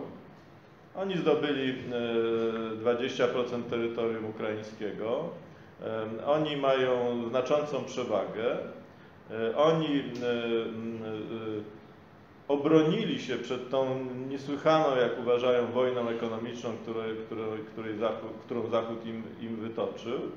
Oni zarobili 100 miliardów dolarów więcej niż rok wcześniej na, e, na eksporcie węglowodorów, a w związku z tym e, wystarczy tylko cierpliwości, determinacji e, i kontynuowania walki, a Zachód zacznie pękać, e, system sankcyjny się rozsypie, a to będzie oznaczało, że to Ameryka, może nie, ale Europa Zachodnia zmusi Ukrainę do ustępstw. Właśnie po to, żeby za cenę ukraińskich ustępstw ratować swoją pozycję, pozycję ekonomiczną. Takie jest myślenie w Rosji. Przynajmniej na razie. Oni mówią, że mm, po, po zjeździe KPH w Chinach, nie wiadomo do końca kiedy on będzie, y, są różne, różne daty podawane. Niektórzy mówią, że we wrześniu, niektórzy mówią, że w listopadzie, ale zapewne między wrześniem a listopadem. Po, po zjeździe KPH Chiny aktywniej włączą się we wspomaganie Rosji. Znaczy nie włączą się w sposób wojskowy, tylko włączą się pomagając gospodarczo, niewykluczone, że dostarczając też e, środki potrzebne do walki. E, A w związku z tym pod koniec tego roku, e, o ile Rosja utrzyma wolę, wolę walki, to Zachód będzie znacznie słabszy, znacznie bardziej skłonny do ustępstw. Ukraina nie będzie miała już takich zasobów i ta determinacja po stronie ukraińskiej też będzie mniejsza, bo w Kijowie będą widzieć, że, że, że, że pomoc wojskowa z Zachodu nie przyspieszy, ale, a, a jest co najwyżej na tym samym poziomie. No a w związku z tym y, tę wojnę w sensie politycznym Rosja wygra. Takie jest dzisiaj myślenie w Rosji. Rozumiem. Pan redaktor, proszę bardzo. E, Jest pewna teoria mówiąca, że chiński prezydent Xi Jinping e, dał Putinowi zielone światło do inwazji na Ukrainę, dlatego, że właśnie być może na jesień, być może e, później e, szykował konsultacje z Tajwanem. Albo scenariuszu, w którym Rosja zdobyłaby Kijów w ciągu tygodnia, Tajwan byłby Tajwańczycy mogliby zostać zastraszeni, że Stany Zjednoczone nie pomogły e, Ukrainie, to nie pomogą Tajwanowi, więc trzeba się porozumieć politycznie. W scenariuszu drugim, dłu- długotrwałego konfliktu, e, wojna na Ukrainie odciągałaby po prostu uwagę Stanów Zjednoczonych od sytuacji na Pacyfiku. E, Czy Pańskim zdaniem ta teoria jest sensowna? Nie, wydaje mi się, że to jest niesensowna teoria z prostego powodu. Mianowicie prowadzenie wojny na mm, Pacyfiku wymaga zupełnie innych środków walki niż prowadzenie wojny lądowej w Europie. Em, A w tym sensie wojna w Europie nie może odciągnąć uwagi Stanów Zjednoczonych od Pacyfiku. Zresztą ja bym nie przeceniał pomocy amerykańskiej, dlatego że ta pomoc wojskowa amerykańska ona jest znacząca i nikt jej nie kwestionuje, ale to nie jest pomoc przesądzająca o przewadze, przewadze ukraińskiej. To jest pomoc, która pozwala Ukrainie bronić się i pozwala Ukrainie wojny nie przegrać, no a to jest jednak coś innego niż wojnę wygrać. Tam jeszcze decyzje w Stanach Zjednoczonych w tej materii nie zapadły. Proszę zwrócić uwagę, jak, jak Amerykanie reagowali na, na ewentualny pomysł przekazania naszych migów Ukrainie. Nadal jest nieuruchomiony tak zwany mechanizm rollback, czyli my wysyłamy czołgi Ukrainie, ale za to dostajemy, em, dostajemy czołgi amerykańskie. No te, te 250 Abramsów, które, które, za które przecież mamy zapłacić, ich dostawa też nie jest przyspieszona. To mówi się o tym, że być może e, e, kolejka e, będzie nieco krótsza, bo wejdziemy w miejsce armii amerykańskiej, ale to po pierwsze jeszcze nie jest przesądzone, a po drugie armia amerykańska ma 2,5 tysiąca Abramsów w swoich magazynach. W związku z tym bez, bez straty zdolności e, wojskowych mogłaby, gdyby oczywiście decyzja polityczna zapadła, wysłać nam już dzisiaj te 250 Abramsów i odebrać sobie za, za, e, no, za tam półtora roku, kiedy my mamy z grubsza rzecz biorąc je, je dostać. Więc skala, za, skala zaangażowania Ameryki w wojnę na, e, na Ukrainie nie, nie jest tego rodzaju, że można by mówić, iż to e, e, odciąga e, uwagę Ameryki od, e, od Tajwanu. Tu jest inny problem. On, on, ma, charak- on, ma, on ma naturę w gruncie rzeczy polityczną i, i tego, jak się buduje system sojuszniczy, jak Amerykanie budują system sojuszniczy. Ja tu się odwołam do takiej wydanej nie- niedawno książki od Bridge'a Colbiego. Colby to jest, e, on był e, zastępcą szefa Departamentu Obrony w takim Komitecie Planowania Strategicznego i on był jednym z autorów tej strategii obrony z 2018 roku. I on tam buduje następującą, taką bym powiedział, kaskadową hierarchię amerykańskich celów. No, Po pierwsze, absolutnie najważniejszym, y, najważniejszą kwestią jest kwestia chińska z punktu widzenia amerykańskiej wielkiej strategii. Ale to oznacza, dlaczego jest, dlaczego jest tak ważne? Dlatego, że Chiny są największym państwem w Azji, gospodarczo, terytorialnie i ludnościowym, a w związku z tym łatwo będą w stanie zdominować cały kontynent azjatycki. Kontynent azjatycki, do, do którego już przesuwa się centrum życia gospodarczego świata. Już teraz 58% światowego PKB to jest Azja. A w związku z tym, jeśli Chiny zdominują kontynent azjatycki, to, to zdominują też światową gospodarkę. W związku z tym stworzą strefę ekskluzywną, wypchną Stany Zjednoczone z Azji. Jak wypchną Stany Zjednoczone z Azji, no to siłą rzeczy e, uzyskają taki, taki potencjał, jeszcze współpracując z Rosją, że zdobędą kontrolę nad Euroazją jako całością. Bliskim Wschodem, Afryką Północną i, i, i całą Europą. To będzie oznaczało ograniczenie Imperium Amerykańskiego wyłącznie do kontynentu amerykańskiego, czyli powrót do czasów doktryny Monroe, e, która przecież która powstała w, w latach 30. XIX wieku. Kraje e, Ameryki Południowej, Wenezuela, Kolumbia. Nie, ja, ja mówię o tylko o pewnym myśleniu, myśleniu amerykańskim. I teraz, co jest kluczowe, bo, to, bo, bo, warto o tym y, mówić, dlatego że to wpływa na zaangażowanie Ameryki w Ukrainie. A mianowicie Colby uważa, że Amerykanie nie będą w stanie zbudować systemu sojuszniczego w Azji. Azja w ogóle nie ma tradycji twardych sojuszy wojskowych, tylko Azja ma pewną tradycję takich, bym powiedział, dość luźnych e, formuł współpracy, gdzie państwa wybierają różne strategie. Też i balansowania między tymi wielkimi, między tymi wielkimi graczy, graczami. Zresztą Ameryka ma w tym zakresie doświadczenia. W 1969 roku Nixon ogłosił tak zwaną doktrynę Guam o, o zmniejszeniu swojego zaangażowania Stanów Zjednoczonych w Azji, co wywołało no, perturbacje, jeśli chodzi o politykę Filipin, Indonezji, Malezji, Tajlandii. To bardzo różnie te państwa zareagowały. Ale dzisiaj Amerykanie uważają, że jeżeli, że jeżeli tego rodzaju polityka, jakby tego rodzaju świadomość nastąpi wśród elit państw, głównie ASEAN, gdzie Chiny są już i tak mocniejsze gospodarczo niż Ameryka, a Ameryka traktowana jest wyłącznie jako czynnik równoważenia potencjału chińskiego z punktu widzenia siły wojskowej. Znaczy, jeżeli- ktokolwiek będzie miał wątpliwości co do wiarygodności amerykańskich gwarancji, to w ogóle tego systemu sojuszniczego nie będzie. On nie powstanie, bo elity państw y, Azji Południowo-Wschodniej, ale, ale choćby takie jak Filipiny, kluczowych z punktu widzenia obrony, obrony tak zwanego drugiego łańcucha wysp, one się zdystansują od Ameryki. A w związku z tym obrona wiarygodności sojuszniczej Ameryki w Europie i na Ukrainie jest gwarancją y, zwycięstwa ewentualnego w starciu z Chinami. Jeśli się odpuści Ukrainę, e, to jest 100% pewności, że się przegra batalię o Azję. Ale z tego, e, z, te, z, te, z, z- tego, co wcześniej mówiłem, czyli ze świadomości, że Ameryka nie jest w stanie z punktu widzenia siły gospodarki i siły własnej armii, nie jest w stanie prowadzić dwóch równoległych wojen o tym samym poziomie intensywności na dwóch odległych frontach, no wynika to, że nie chce angażować się po, na Ukrainie w stopniu e, takim, który by przesądzał zwycięstwo z Rosją. No i to powoduje, że taki obraz, jaki mamy dzisiaj, czyli to, że Ukraina jest się w stanie bronić, ale nie jest w stanie, e, nie jest w stanie wygrać, dlatego że takich decyzji nikt jeszcze w Waszyngtonie nie podjął. I, I wydaje mi się, że niewiele wskazuje na to, żeby, żeby tego rodzaju decyzje zostały podjęte. To, o czym się w ogóle dyskutuje dzisiaj, to dyskutuje się o zbudowaniu pewnych lokalnych przewag Ukrainy, e, ale nie po to, żeby wyprzeć e, siły rosyjskie, tylko po to, żeby usiąść do stołu i mieć lepsze atuty w ręku, co być może doprowadziłoby do, e, do takiego porozumienia, że Rosjanie wycofują się na linię 24 lutego.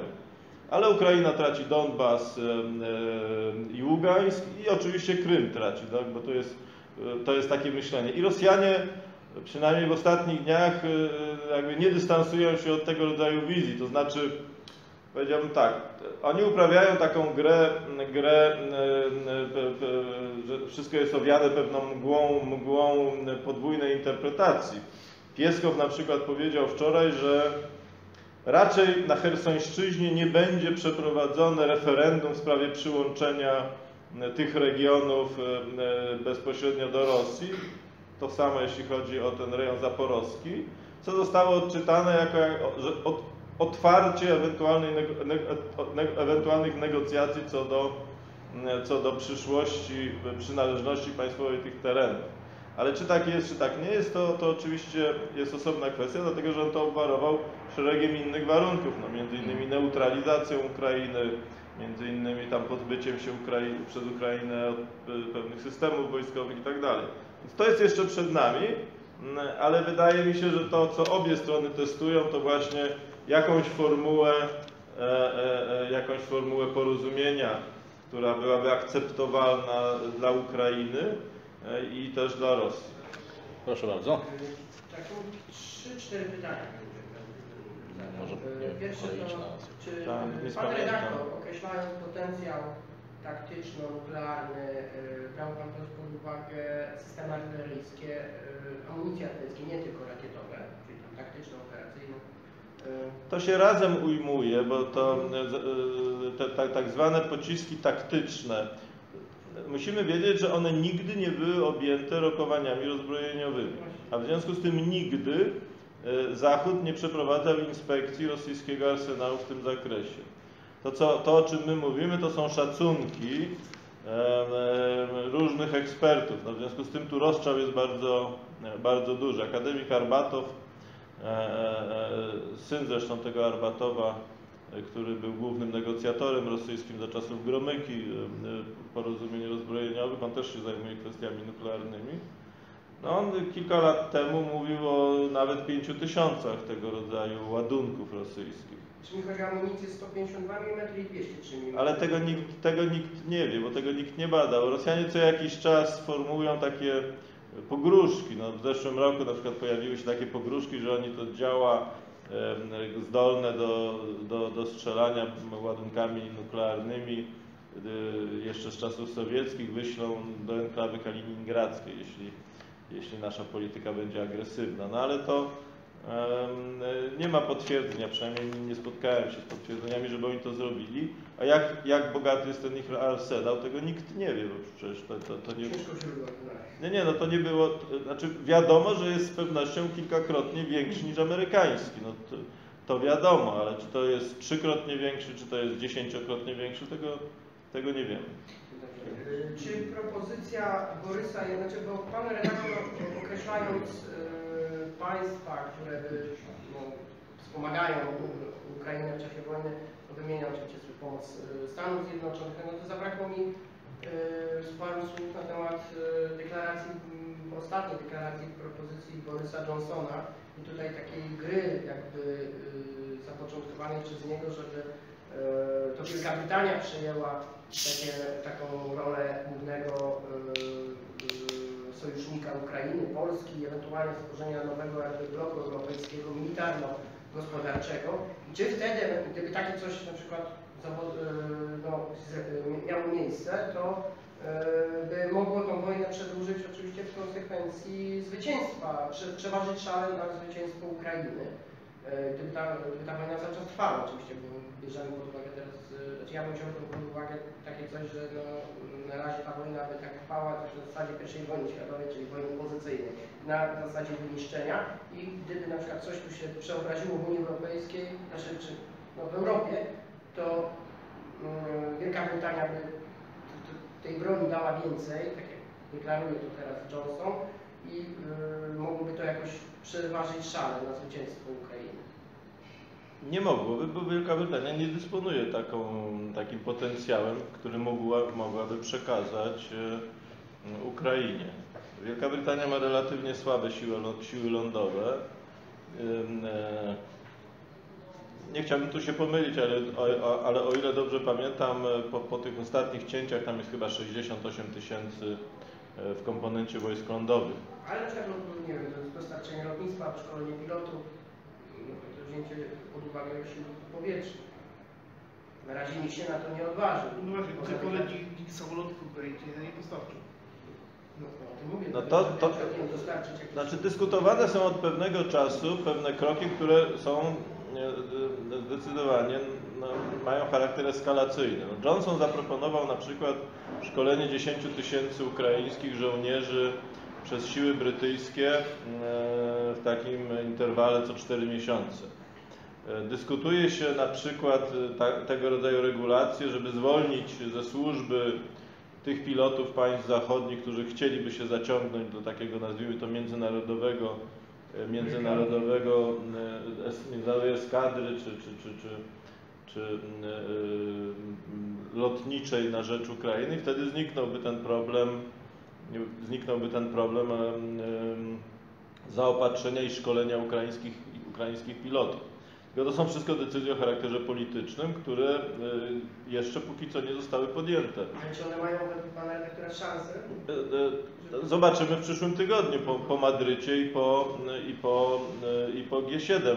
No, na razie Waszyngton dostarczając Hajmarsy Ukrainie, po pierwsze nie dostarczył tych e, o zasięgu 300 km, tylko znacznie, znacznie mniejszych, bodajże 70, o ile dobrze pamiętam. Takim taktycznym. Tak, po drugie wymusił na rządzie w Kijowie deklarację, że przy użyciu tych systemów nie będą atakowane cele w Federacji Rosyjskiej, bo ataki na, na cele w Federacji Rosyjskiej uważa się dość powszechnie w Ameryce, w Europie Zachodniej tym bardziej za y, działanie o charakterze eskalacyjnym. Niemcy na przykład uważają dyslokację y, sił y, na, na Litwę, tak jak mówiłem, do, do, do poziomu brygady y, i to w komponencie rotacyjnym, też za działanie eskalacyjne. No to, co, to, co uważamy za działanie eska, eskalacyjne jest obszarem pewnej dyskusji między, między sojusznikami. Tak też działa moim zdaniem system sojuszniczy. Znaczy są państwa popychające cały układ w stronę wspierania Ukrainy, tym, tymi państwami Wielka Brytania, jest też Polska. Są państwa ewidentnie hamujące, Niemcy i, i Francja, no i są, są Stany Zjednoczone, które są w centrum, e, które pilnują pewnej jedności sojuszniczej, bo to decyduje o ich e, po pierwsze pozycji i to decyduje o ich perspektywach, jeśli chodzi o rywalizację również w, e, w, w rejonie Indo-Pacyfiku, no bo nie bez powodu na najbliższym szczycie NATO będą liderzy państw azjatyckich, no to jest jakby, jakby pewien, pewien symbol.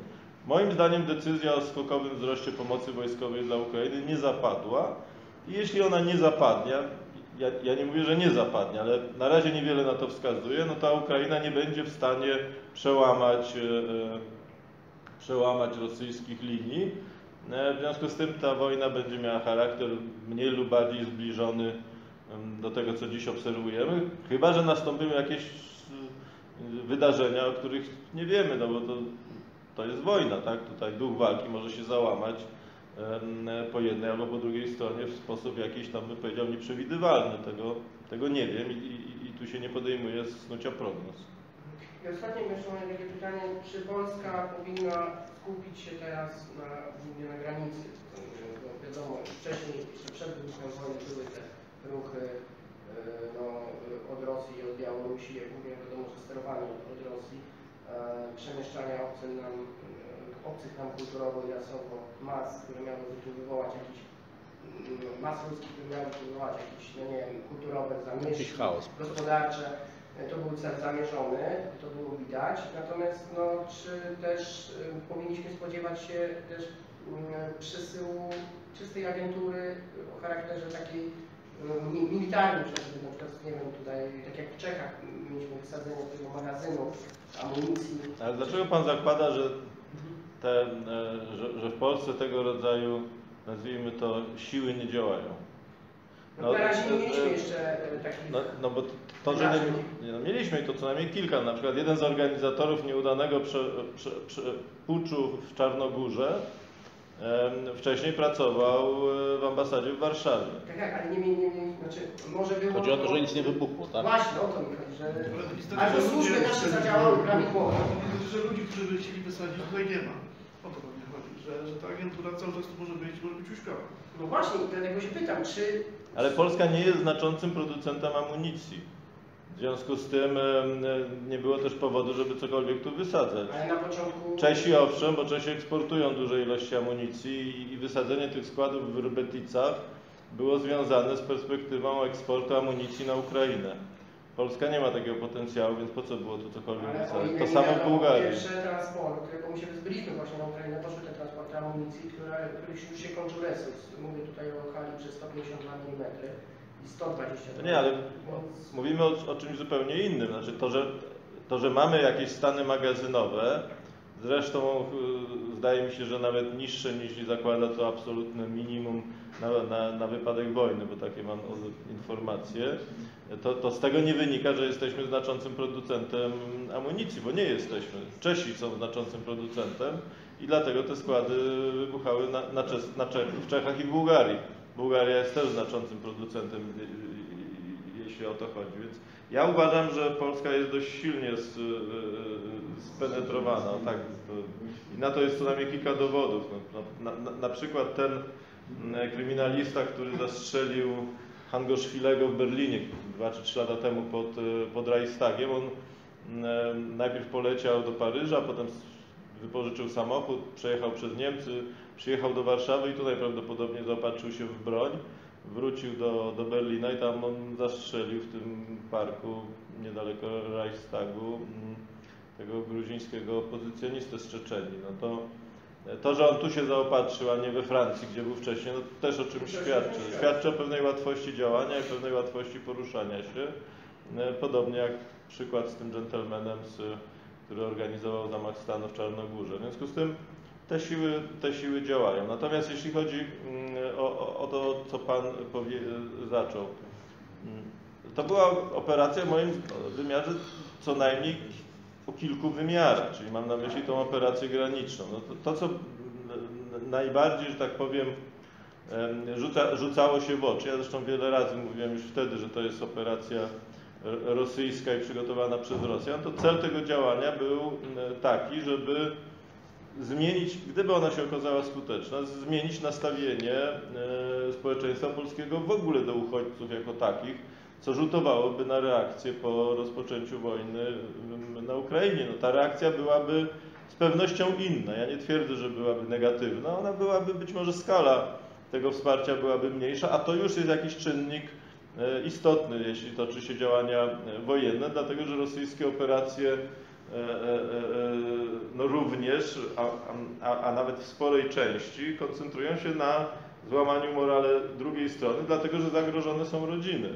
Na, tym- na, na tym polegała, polegało znaczenie, że rodziny e, ukraińskich e, żołnierzy mogły się schronić w Polsce, bo oni byli bezpieczni, bo e, mężczyzna walczący na froncie nie dostawał e, SMS-a e, ze zdjęciem żony i dziecka i, i, i komunikatem, że oni zginą, tak? bo, to, bo, to, bo to tak działa po prostu w praktyce. Ale drugi obszar tej, tej, tej operacji moim zdaniem był skuteczny i byłby bardzo skuteczny, gdy tylko, tylko nie, nie udał się blitzkrieg, blitz, blitzkrieg na Ukrainie. Bo jak zareagowała Polska?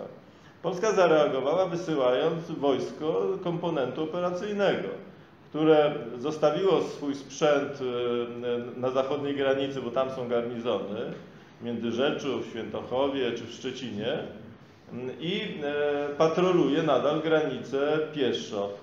15 tysięcy żołnierzy w komponencie rotacyjnym to jest, no, różnie można szacować. No, najbardziej optymistycznie 30 tysięcy żołnierzy em, służby czynnej, e, wojsk operacyjnych tam zostało rzuconych. E, Całe nasze siły lądowe to jest 58 tysięcy. E, No to teraz proszę sobie wyobrazić, że jeśli by Rosjanie w ciągu trzech dni, tak jak chcieli, czy tygodnia, czy dwóch tygodni, zdobyli Ki- Kijów i opanowali Ukrainę, dysponując nienaruszonym potencjałem i, e, i, i, i obrócili się w stronę Litwy, to kto by bronił tego przesmyku suwalskiego? Spieszeni pancerniacy, którzy zostawili czołgi 300 km dalej, oni by wrócili po te czołgi i, i przyjechali?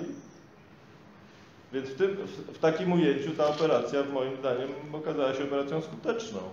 Rosjanie tego nie byli w stanie wyzyskać, dlatego że tak, e, tak przebiegła operacja na Ukrainie, ale, ale było bardzo blisko e, od zupełnie innego rozwoju wydarzeń.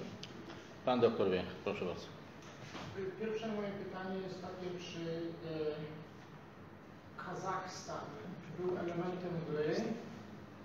E, do jakiego stopnia zamieszki w Kazachstanie były przypadkowe, a do jakiego stopnia były wyreżyserowane przez e, Stany Zjednoczone, Pana zdaniem, żeby zyskać na czasie te krytyczne kilka e, czy kilkanaście dni i przygotować się do obrony? Czy od razu wszystkie trzy pytania wystrzelać, czy, czy po kolei? Wydaje mi się, że jeśli chodzi o Kazachstan, to mieliśmy do czynienia najpierw z pewnym spontanicznym wybuchem, który został wy, wy, wykorzystany przez e, no, chyba głównie dwie frakcje w, w, w, obozie, w, w obozie władzy, czyli, czyli tą grupę Tokajewa oraz takie tak zwane klany z e, zachodu e, kraju, które były niezadowolone z faktu, że, że ludzie Nazarbajewa kontrolują wydobycie wę- węglowodorów. E, Więc na to się nałożyły dwa, dwa elementy. Są teorie, głównie wśród rosyjskich niezależnych politologów, że to raczej Tokajew był dogadany z Putinem, o czym by świadczyło to, że w czasie tam grudniowego szczytu państw wspólnoty niepodległych państw w Petersburgu bodajże e, Putin dość długo tam e, rozmawiał z Tokajewem i nawet razem e, jechali samochodem Putina. Natomiast tutaj Tokajew wydaje się wykorzystał rosnące zaniepokojenie Chin tym, co się stało pierwsze, w pierwszym rzędzie. Znaczy po, po interwencji u- ODKB e, Chiny dość zasadniczo zmieniły swoje stanowisko, jeśli chodzi o tak zwane wypadki w, w Kazachstanie. One w pierwszej fazie mówiły o tym, że to jest w gruncie rzeczy problem wewnętrzny Kazachstanu i władze e, e, muszą to same rozwiązać. A potem, niedługo potem, zarówno minister spraw zagranicznych, jak i bodajże minister spraw wewnętrznych chińscy zaczęli deklarować daleko idącą współpracę, również w obszarze wojskowym, służb specjalnych, e, wsparcie dla władz e, i dla samego Tokajewa. Potem, potem się nałożyło jeszcze zaniepokojenie Turcji tym, co się stało, bo w Turcji to odebrano bardzo boleśnie jako, jako no, niewyzyskanie pewnej, pewnej sposobności budowania wpływów w obrębie tej wspólnoty, wspólnoty i- i Tureckojęzycznej. narodów języka tureckiego. Więc w moim odczuciu e, Tokajew e, był zainteresowany jakby wykorzystaniem e, Moskwy i był zainteresowany tą interwencją, ale w jego interesie też leżało to, żeby, żeby ta interwencja była relatywnie ograniczona zarówno co do skali, jak i co do czasu. I ona taka była, dlatego że w moim odczuciu on chciał m, w ten sposób wygenerować pewien sygnał dla elity władzy, głównie służb specjalnych i sił wojskowych Kazachstanu, że on jest tym namaszczonym przywódcą. Trochę tak, jak ten słynny telefon Putina do, do Łukaszenki we wrześniu 20 roku, kiedy ważyła się jego, kiedy ważyła się, ważył się los Łukaszenki w samych, w samych elitach Białorusi, głównie siłowych, nie, no były takie sygnały, że tam coś zaczyna pękać. Ten telefon Putina ustabilizował Łukaszenkę, a interwencja ODKB ustabilizowała e, Tokajewa. To jeszcze dopytam, czy wyklucza Pan ten e, ślad amerykański, bo e, to właściwie był prezent od, od Rosji, te, kilka dni, które z, odciągnęły uwagę Rosji od, Ukrainy, częściowo przynajmniej. Wie pan co, znaczy skala zaangażowania Rosji była niewielka, bo te, te siły pokojowe to są łącznie 3000 żołnierzy i to, powiedz, i to sił powietrzno-desantowych. Z tego, z tego, ile dobrze pamiętam, e, Rosjanie wysłali nawet niecałe dwa bataliony, czyli tam, no może dwa bataliony, gdzieś 1600, 1600 żołnierzy. To nie jest skala, która by wyważyła na, na operacji na Ukrainie, w moim, moim odczuciu. Drugie pytanie, e, w co grają Niemcy? To znaczy wiemy, że wstrzymują pomoc, natomiast czy sądzi Pan, że ta gra Berlina ma e, bardziej e, dalekosiężne cele e, i plany niż tylko powstrzymanie e, Ukraińców od e, e, no, zadania jakichś e, dość dotkliwych strat Rosjan?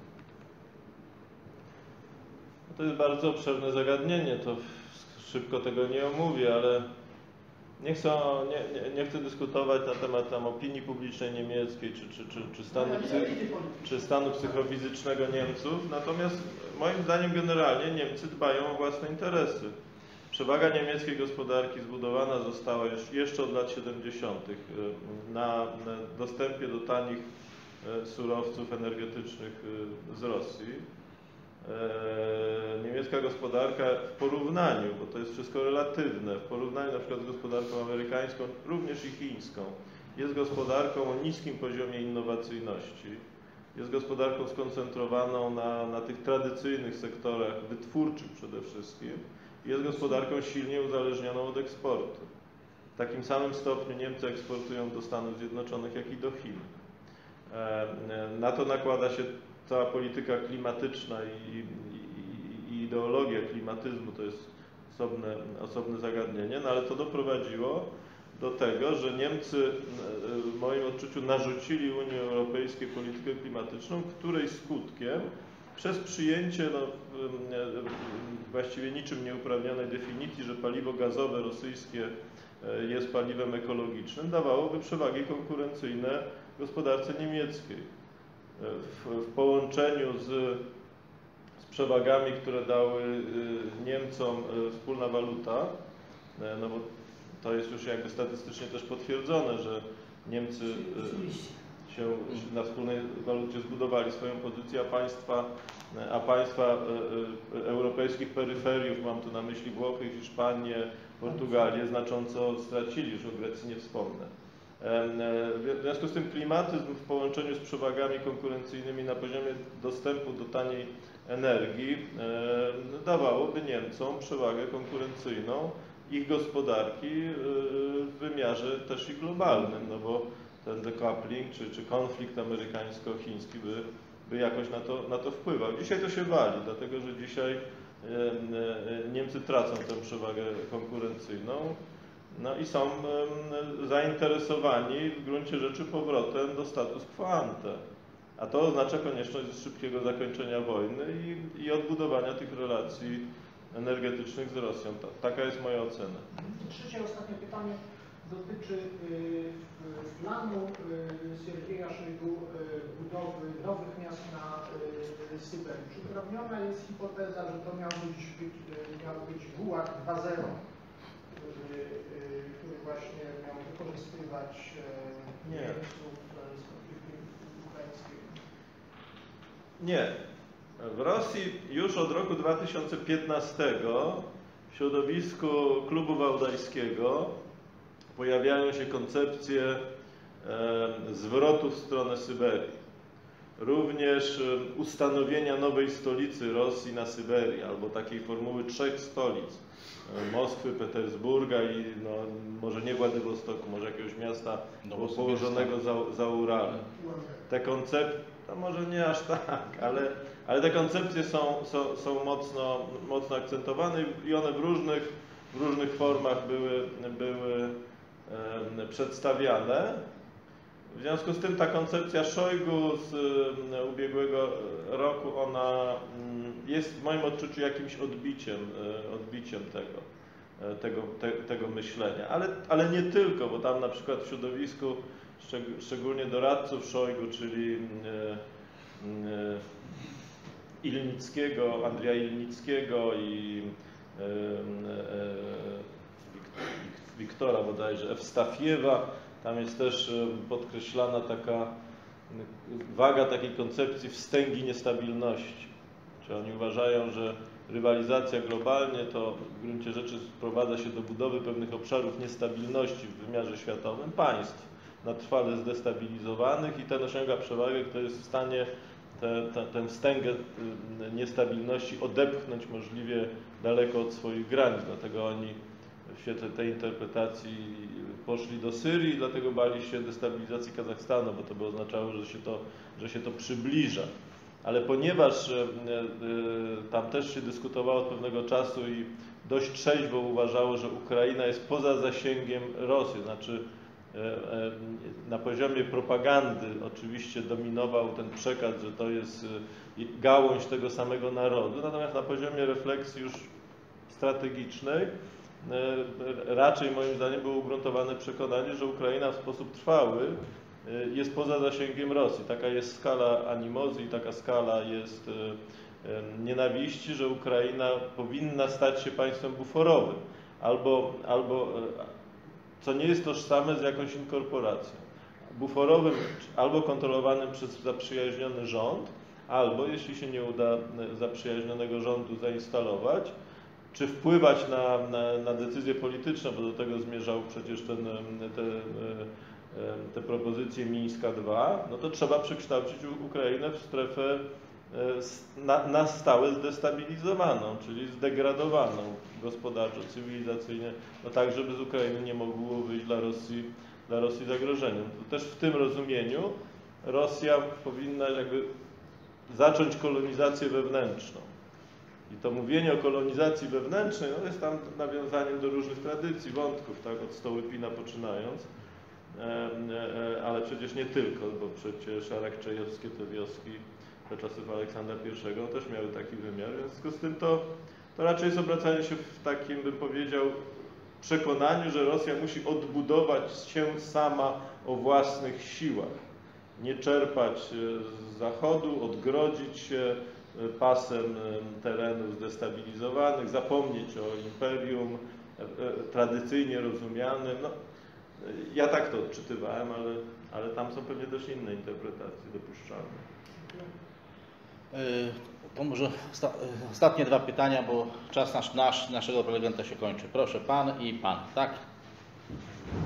Znaczy, ja, e, u nas jest takie zdanie, że jeżeli Ruski i bardzo dużo na ten temat piszą, że Putin choruje, Putin tak to, o, że jeżeli Putin umrze, to jakby kardynalnie zmieni się polityka Rosji i tak jak na podstawie e, tego, jak było w historii, że jednego cara al- albo on sam umierał, albo jego zabijali i polityka zmieniała się.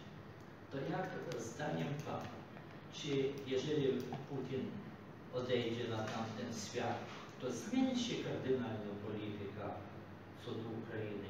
Czy ta wojna będzie trwała i to będzie rozwijało się dalej tak?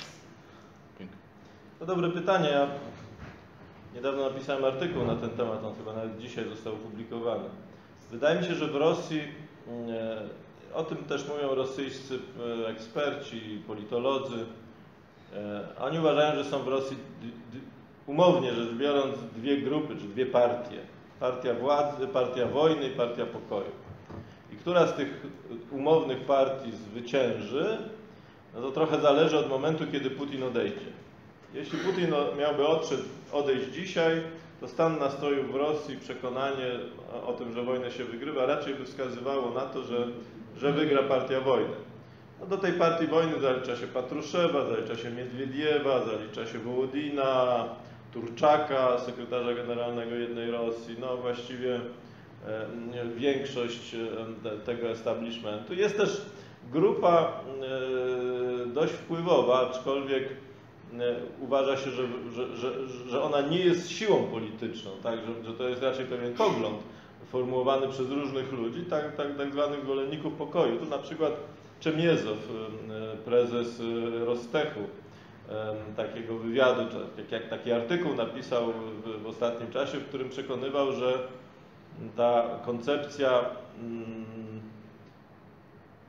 substytucji importu wdrażana w Rosji od roku 14 zupełnie zakończyła się kompletnym fiaskiem, że w ogóle nie można zbudować gospodarki dużego kraju opierając się na własnych możliwościach i własnym potencjale wytwórczym, a w związku z tym, że wizja twierdzy Rosji, która sama się odbudowuje i sama uzyskuje bezpieczeństwo i, i, i, i jest w stanie się rozwijać, jest kompletnie chybiona. W związku z tym to, e, e, to jest e, poroniony pomysł, ale to nie on jedyny. No, znany oligarcha Deripaska wystąpił z takim manifestem, notabene w klubie stołypinowskim, w którym na przykład on też wzywał publicznie do zakończenia wojny i to natychmiast twierdząc, że to jest wojna, która przyniesie zgubę Rosji. On tam w tym, w tym manifestie na przykład wzywał do re- redukcji aparatu bezpieczeństwa, służb specjalnych w Rosji od trzech do pięciu razy na przykład. To jest dość czytelny sygnał.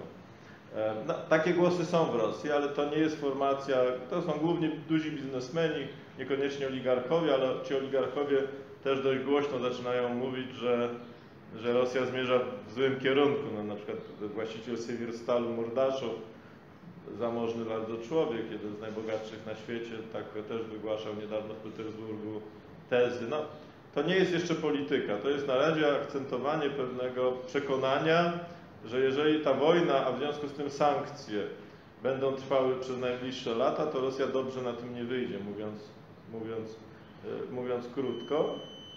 Ale gdyby dzisiaj w Rosji następowały zmiany, to wydaje mi się, że, że w zakresie polityki rosyjskiej nic by się nie zmieniło. Nie, ja przynajmniej nie zauważyłem, poza oczywiście opozycjonistami, którzy wyemigrowali z Rosji, ale w tym w obozie władzy, a staram się to obserwować dość uważnie, nie zauważyłem sił, które by się opowiadały tak za, tak jak, jak, jak Lenin się opowiadał w roku 17, pokój e, bez, e, e, bez żadnych warunków. Tak? W związku z tym dzisiaj oni się, nawet ci najbardziej pokojowo nastawieni, opowiadają zapewne za pokojem, który byłby chyba trudny do przyjęcia dla strony ukraińskiej. I ostatnie pytanie, tam pan. Tak, y, dziękuję po pierwsze za, za prelekcję. Ja mam jedno pytanie i jedno, jedną prośbę o takie uściślenie. Pierwsze pytanie to jest ten kontekst chiński, bo na przykład wczoraj zbankrutowała Sri Lanka, no i e, prawie cały dług Sri Lanki, tam lankijski dług był w rękach chińskich, więc teraz możemy oczekiwać, że Chińczycy będą czegoś wymagali od, od Sri Lanki, czyli pewnie będą próbowali jakieś tam bazy instalować na Sri Lance. E, No i mamy taką śmieszną sytuację, że na Tajwanie Amerykanie trzymają Chińczyków na muszce, a tutaj będą próbowali ze Sri Lanki trzymać na muszce Chińczycy Tajwan. E, I czy w tym kontekście myśli Pan, że może być tak, że w końcu po prostu Amerykanie nie dadzą rady i po prostu Polska będzie osamotniona w tym Ukrainy?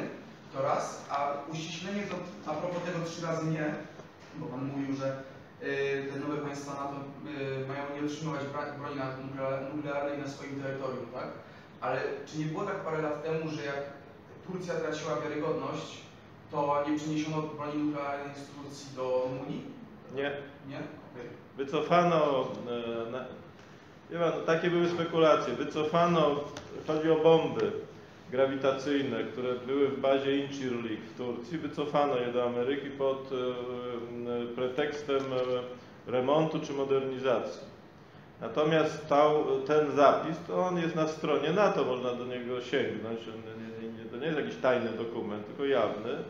To jest zapis umowy z roku 97, aktu założycielskiego takiego traktatu Rosja-NATO, czyli jeszcze przed przyjęciem, przed przyjęciem państw y, takich jak Polska czy państw Europy Środkowej do NATO. Więc w tym sensie te zapisy są tam dość jasno sformułowane Mm, e, i one brzmią tak, jak z pamięci powiedziałem, ale to oczywiście można, można w każdej chwili, w chwili sprawdzić.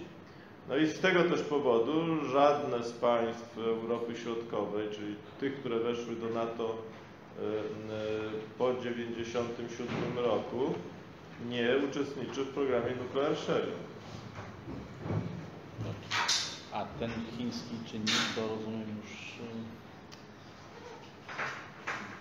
No wie pan, jeśli chodzi o Sri Lankę, to z tego co ja pamiętam, Chińczycy postawili w, y, chyba w ubiegłym roku y, y, żądanie czy, czy uzyskania dzierżawy 50-letniej jednego z portów na, na, na, Sri, na Sri Lance. W związku z tym ta perspektywa budowy chińskiej bazy jest tam perspektywą realną, tylko my wchodzimy w epok, w czas, że, gdzie długi się nie liczą, a liczy się goła siła wojskowa. Ja bardzo wątpię, czy by Indie chciały dopuścić do e, zbudowania e, bazy wojskowej na, na, na Sri Lance, czy na przykład portu w Pakistanie, w, o czym też przecież niedawno była mowa o budowie chińskiego portu i bazy wojskowej. Tak? W związku z tym to mm,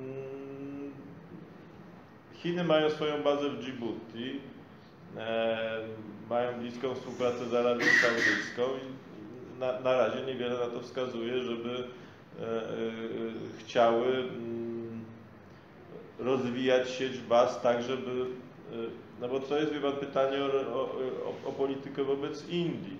Tego rodzaju krok był go odebrany w, w Indiach jako potencjalnie wrogi, co by wpychało Indie w, w ściślejsze związki ze Stanami Zjednoczonymi. To nie jest na rękę Chinom, w związku z tym oni tam uprawiają dość ostrożną politykę w tym zakresie, no ale, ale tu się mogą różne rzeczy wydarzyć. Jest głód w tej chwili, potworny głód. No oczywiście, że tak, ale to ty, takich państw jest znacznie więcej. No, a, a jak wygląda Liban? e, e, Liban w ogóle nie ma. Nasz czas powoli tutaj dobiega końca. Chciałem bardzo serdecznie podziękować naszemu prelegentowi za, za, za udział w wystąpienie. Spotkanie jest nagrywane, także będzie możliwość przekazania jego znajomym, którzy nie dotarli. Bardzo dziękuję panu. panu.